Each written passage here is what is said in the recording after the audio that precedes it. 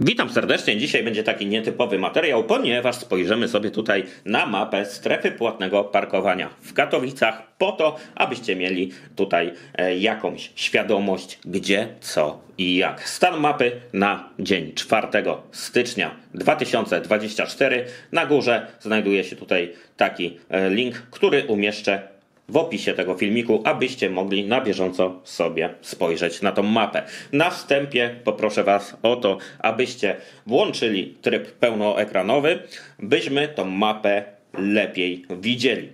Wyróżniamy tutaj strefy płatnego parkowania, strefę A oraz strefę B i z tego co się orientuję, osoby, które nie posiadają abonamentu muszą uiścić opłatę za postój w dniach od poniedziałku do soboty w godzinach 7 rano do 17. E, z tym, że są tutaj wyjątki, jeśli chodzi tutaj o soboty, które są dniami wolnymi od pracy. Ale teoretycznie, jeszcze raz, od poniedziałku do piątku w godzinach 7 do 17. E, pamiętajcie o tym, by nie zarobić sobie tutaj na całkiem pokaźnego mandaciku. I tutaj możemy już zauważyć mapę.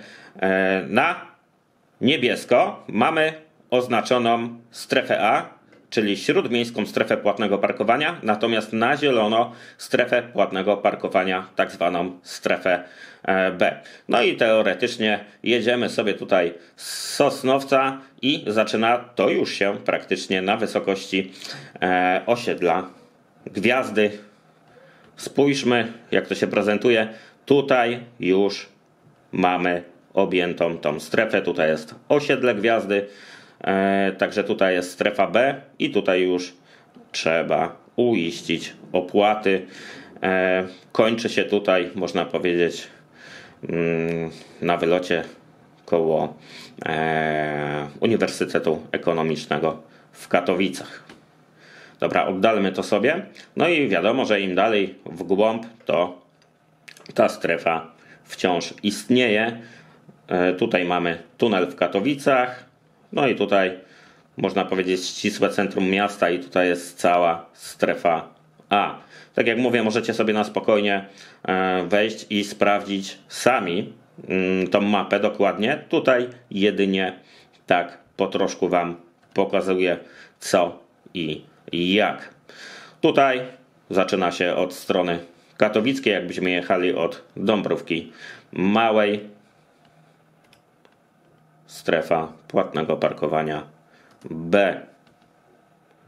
No i praktycznie tutaj do koszutki, koszutka jeszcze jest tutaj też objęta.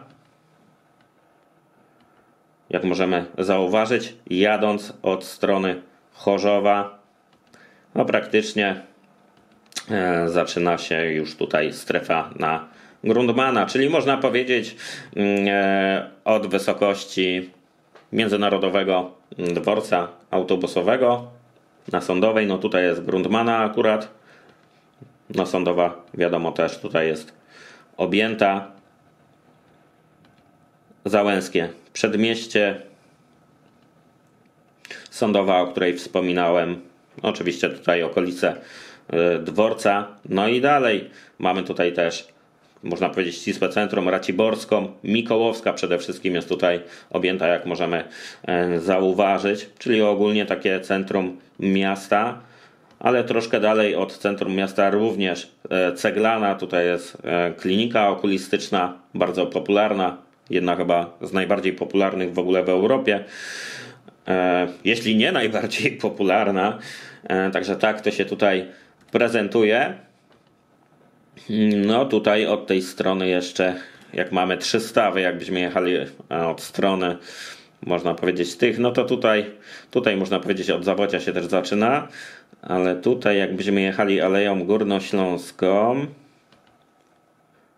powiedzmy od Bytomia, no to tutaj też to wszystko jest e, objęte strefą, jak możemy zauważyć. Graniczna, Ogólnie osiedle też Paderewskiego. Także tak to wygląda. Tak jak mówię, e, zaznajomcie się z tym, byście nie zrobili sobie w topy i zaoszczędzili troszkę pieniążków. No i tak to się prezentuje na dzień, powtarzam, 4 stycznia 2024. Eee, pokrótce oczywiście. No i to by było już w zasadzie wszystko z mojej strony na dzisiaj.